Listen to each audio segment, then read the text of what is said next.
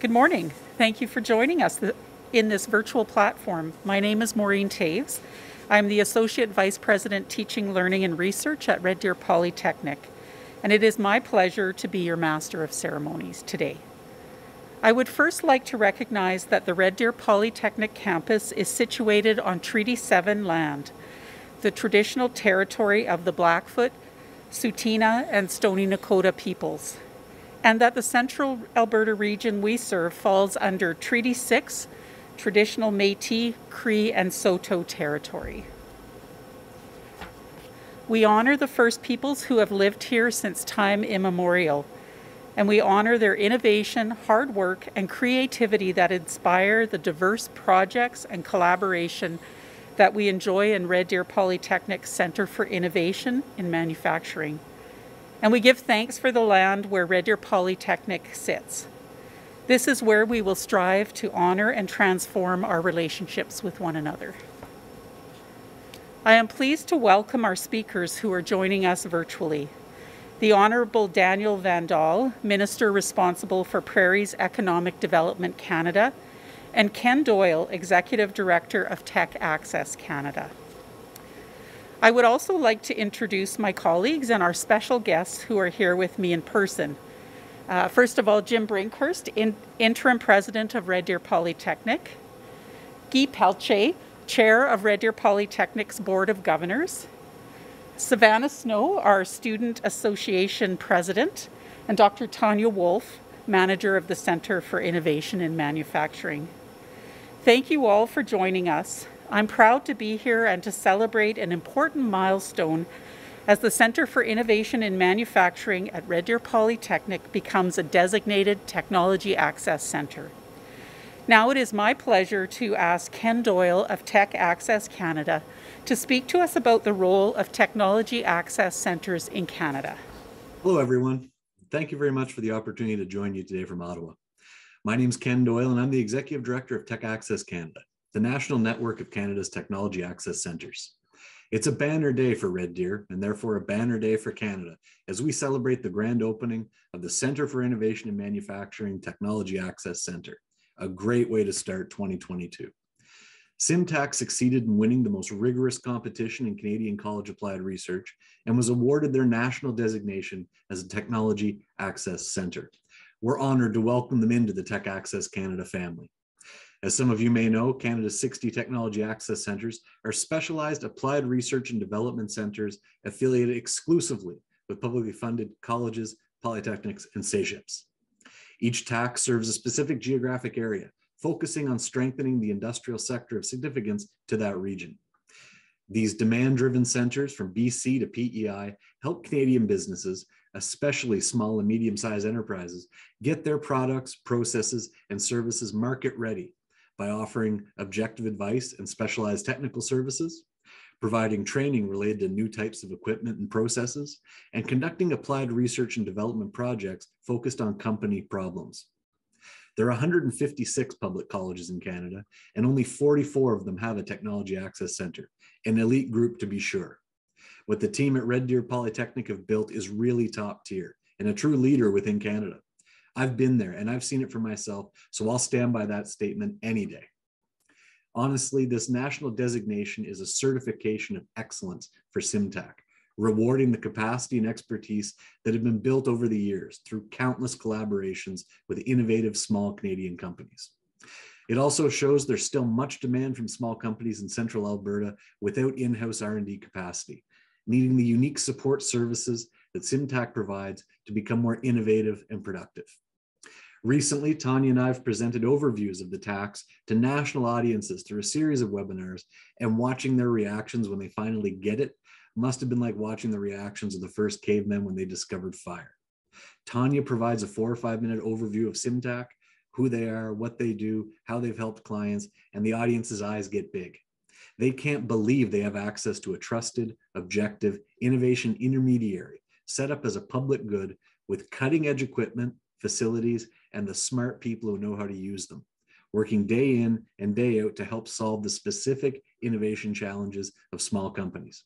Really one of Canada's best kept secrets. Now, getting into Tech Access Canada's network is difficult, but so is staying in. there's a need to keep that TAC designation, which is reevaluated every five years. So CIMTAC has the unenviable task of remaining in a constant state of evolution, needing to be proficient with what's coming next all the time. Even more of a challenge in the Alberta advanced manufacturing space, with so many technologies from different industrial sectors in a constant state of evolution. The other reality is there's no shortage of demand. Look at the industrial makeup of Canada 1 million small companies, average size eight employees. 75% of those companies have four employees or less. As a network, we only touch 5,000 companies per year, which shows there's still a tremendous amount of work to do. For those companies in central Alberta that have challenges that align with CIMTAC's areas of innovation expertise, it's great. But the real benefit is that CIMTAC also acts as a front door to the network of all 60 of Canada's technology access centers and the breadth and depth of their expertise and capacity. If all of a sudden the marine and shipbuilding industry in central Alberta picks up, CIMTAC can connect companies in that supply chain to Innovation Maritime in Rimouski or CTAC in Dartmouth, Nova Scotia for the specialized innovation assistance they may need. Likewise, those 1 million small companies spread across our great land now have access to the team and solutions from CIMTAC. If those initial collaborations lead companies to pack up and move to beautiful Red Deer to be closer to CIMTAC and the Central Alberta Innovation Ecosystem, I'm all for it like our members in Quebec say, lâche pas. So again, my sincere congratulations to Tanya, Angela, and the entire Red Deer Polytechnic team for the grand opening of the Center for Innovation and Manufacturing Technology Access Center. I recently attended a similar celebration for one of our members in Quebec who celebrated their 25th anniversary. I very much look forward to doing the same thing for CIMTAC in 2047. Thank you. Merci. Thank you, Ken. We appreciate your commitment to innovation across Canada, and we're thrilled that Centre for Innovation in Manufacturing has joined the ranks of Technology Access Centres and is now known as the CIMTAC. We look forward to many more years of being an innovative leader across Alberta and beyond. And I would now like to invite everyone who is here with me in person to join me so that we may officially cut the ribbon to open the CIMTAC.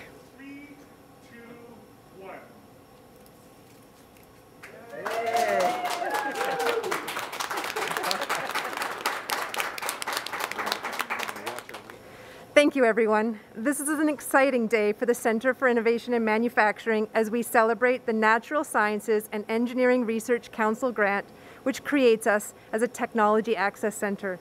Today, we have truly become the CIMTAC. I also want to recognize Prairies Economic Development Canada for their funding support, which has strengthened the breadth and depth of innovation services that the CIMTAC is able to offer the people of Central Alberta.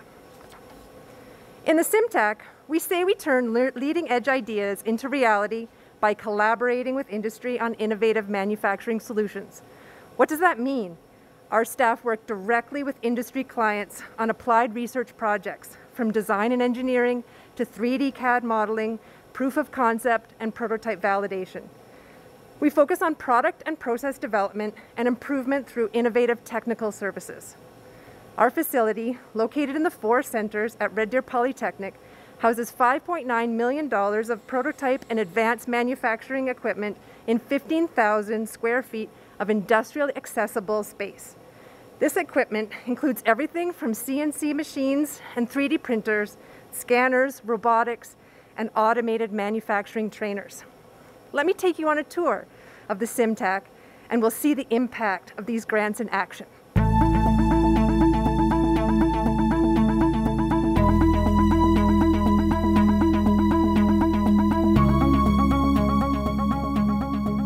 The CIMTAC is an applied research facility embedded within Red Deer Polytechnic that focuses on providing technology and business solutions to our industry clients, specializing in the area of manufacturing.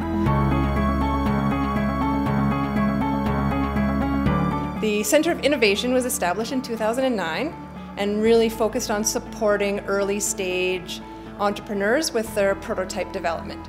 Over the years, we've engaged over 200 companies uh, with projects ranging in size from a 3D print all the way to a low run manufacturing problem. And as we continue to grow, we'll be looking at more complicated problems and how we can deliver truly innovative solutions to Alberta manufacturers.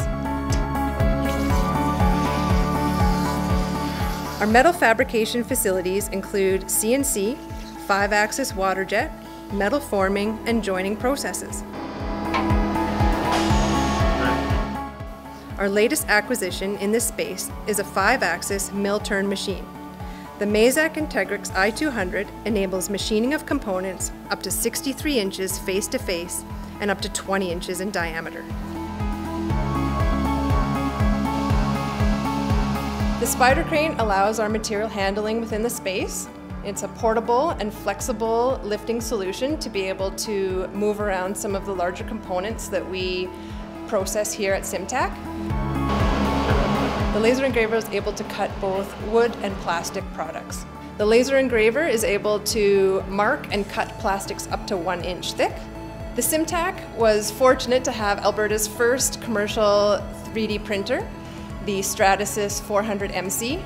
This printer has a bed size of 14 by 16 by 16 inches, allowing for larger components to be manufactured. The ExOne Innovent Plus is the latest addition to our capabilities here at the CIMTAC. It is a binder jet 3D printer with powder as the stock material. That powder can be either a metal or ceramic in the size range of 20 to 100 microns. In that process, a layer of powder is added and then the binder jet printer head will go over the surface and deposit polymer where needed.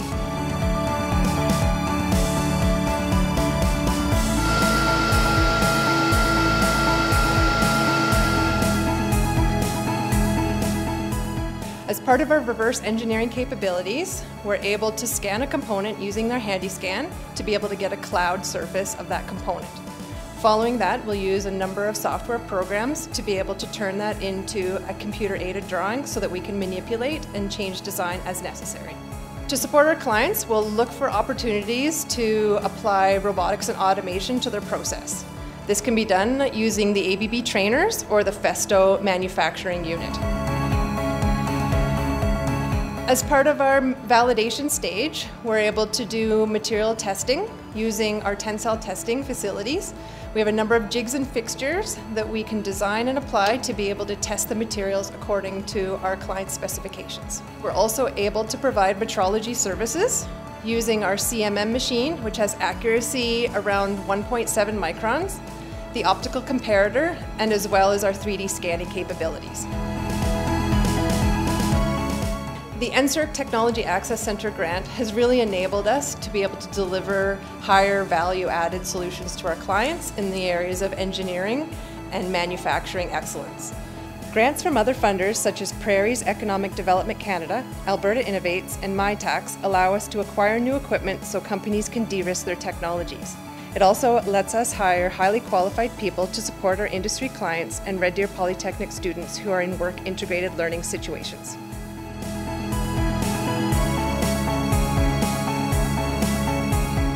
What we really explore a lot here is that high mix, low volume manufacturing. So how do we make small runs the most cost effective possible? And this is really important for companies as they're testing their new products out, being able to deliver solutions to them that meet their budgetary needs.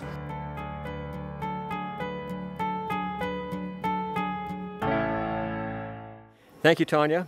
We truly appreciate your passion for business innovation, as well as your leadership and expertise in this sector which has made a sizable contribution to the applied research and technical knowledge of our Polytechnic institution. On behalf of the Red Deer Polytechnic Board of Governors and everyone at our institution, I would like to acknowledge and share our appreciation with the Natural Sciences and Engineering Research Council of Canada for the opportunities that this grant funding has created for our post-secondary institution. Since 2009, the Centre for Innovation and Manufacturing has been a unique and affordable resource at our institution.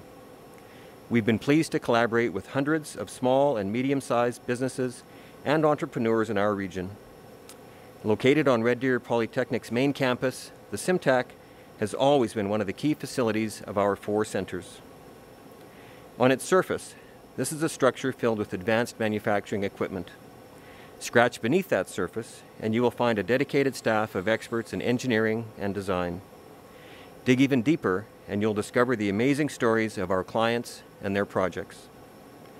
When we talk about the CIMTAC, what we are really discussing is our people.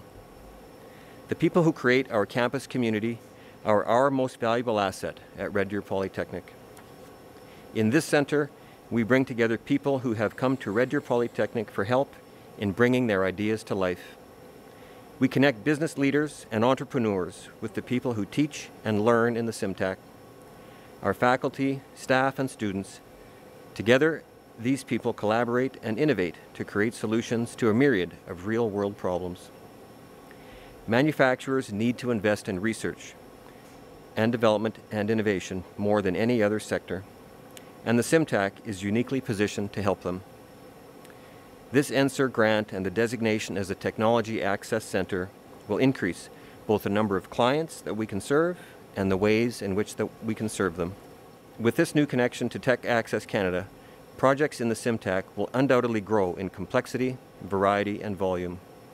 At the same time, the accompanying grant will contribute to developing our facilities and our equipment, as well as the diverse ways that staff, students, and faculty can support innovators to bring their big ideas to life.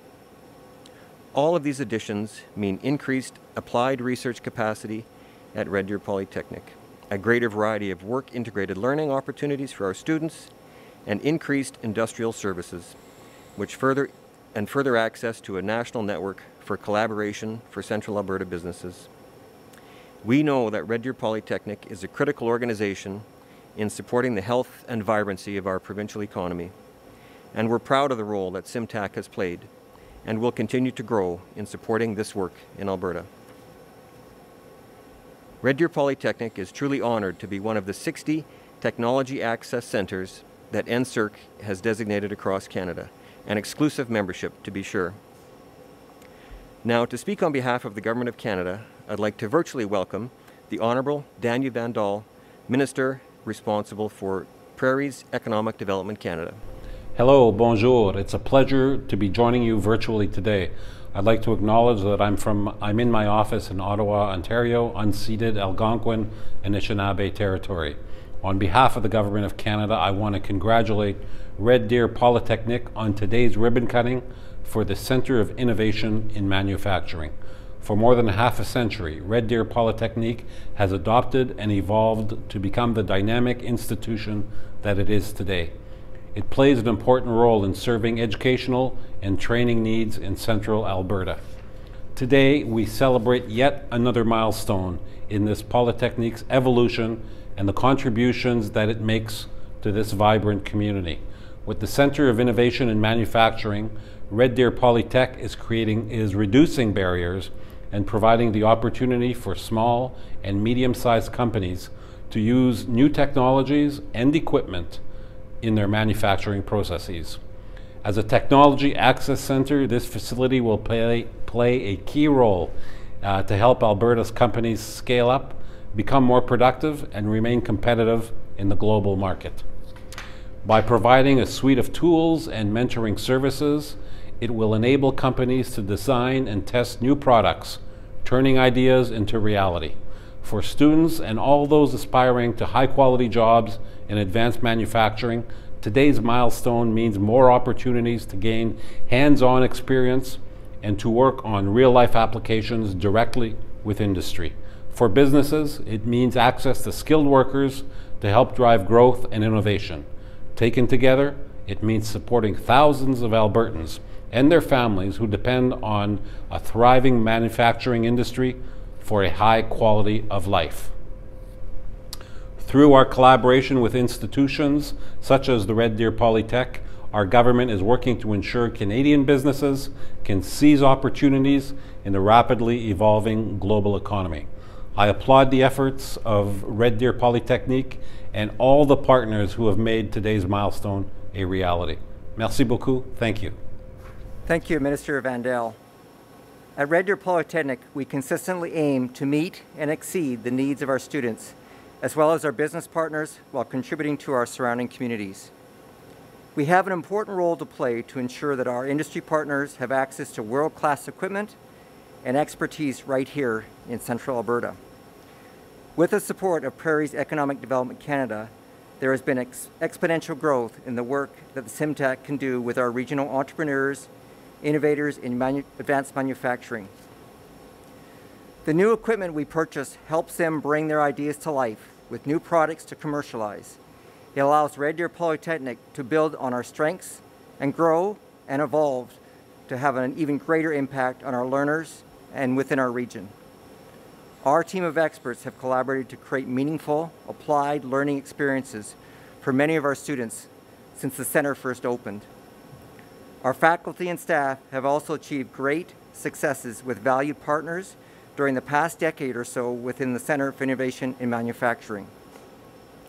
I'm excited to see what our future delivers now that we are also a technology access center and that we've realized our future as a polytechnic institution. Thank you again, Minister Vandal, for providing these opportunities that assist our learners, our business community, and our region. We look forward to further collaborations with Prairie's Economic Development Canada, which will enable us to support the entrepreneurs of Central Alberta as they build a strong future of industry innovation in our province. And now, I'd like to introduce Savannah Snow, President of the Red Deer Polytechnic Student Association.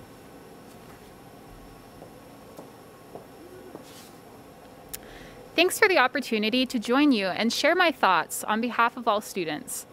First, I'd like to thank everyone who has played a role in making this Technology Access Center possible. Students of Central Alberta want to learn and live close to their support systems.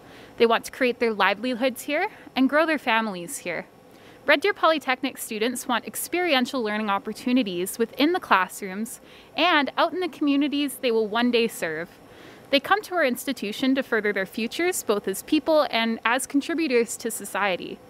Hands-on learning is a hallmark of a Red Deer Polytechnic education. Our students are fortunate to be able to work as applied research technicians, to contribute to industry projects, and to use the facility and equipment to work on capstone projects within their programs of study.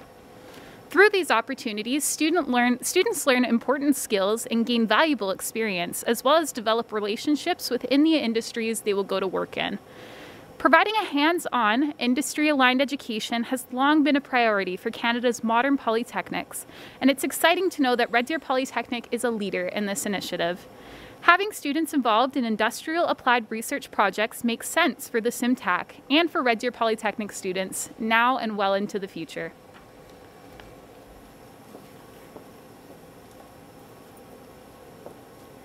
Thank you, Savannah. I agree with your sentiments. Seeing daily how the CIMTAC provides many benefits to our students, our institution, and to Central Alberta. While they weren't able to join us, we are pleased to share statements on screen now from two of our local members of Parliament, Mr. Earl Dreeshen, MP for Red Deer Mountain View, and Mr. Blaine Calkins, MP for Red Deer Lacombe.